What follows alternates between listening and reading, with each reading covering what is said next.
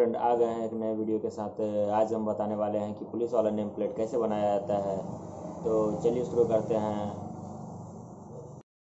Name plate बनाने के लिए अपने सॉफ्टवेयर को ओपन कर लेता हूँ। देख सकते हैं मेरा सॉफ्टवेयर ओपन हो रहा है। उसके बाद जो है, मैं काम स्टार्ट करता हूँ।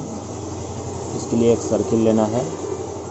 जो भी साइज़ हो, यदि आपका साइज़ देने वाला गायब हो चुका है तो कंट्रोल प्लस के से आप, वापस ला सकते हैं। उसके बाद साइज़ दे देना है। जो साढ़े ग्यारह इंची इंची और लेंथ देना है दो इंची।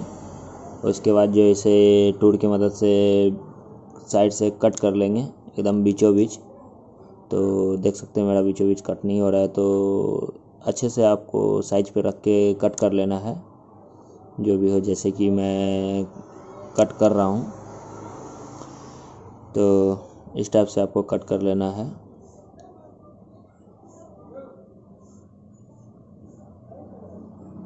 ये फाइनली मेरा कट हो गया है, एकदम बीचों बीच देख सकते हैं। उसके बाद जो आपको टाइपिंग कर लेना है पुलिस।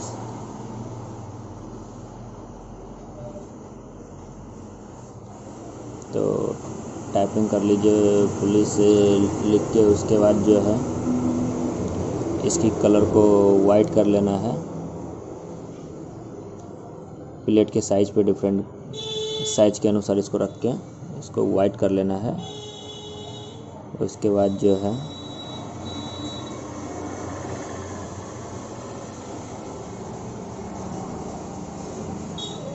देख सकते हैं जैसे कि मैं सेट कर रहा हूँ। उसके बाद जो है, आप, जो पट्टी थी उसको जो है, आप, ऊपर वाले को रेड और नीचे वाले को ब्लू जो कि पुलिस वाला का लोगो रहता है, उस टाइप का आपको दे देना है। फाइनली आप देख सकते हैं कि कितनी खूबसूरत नेम प्लेट बन गई है।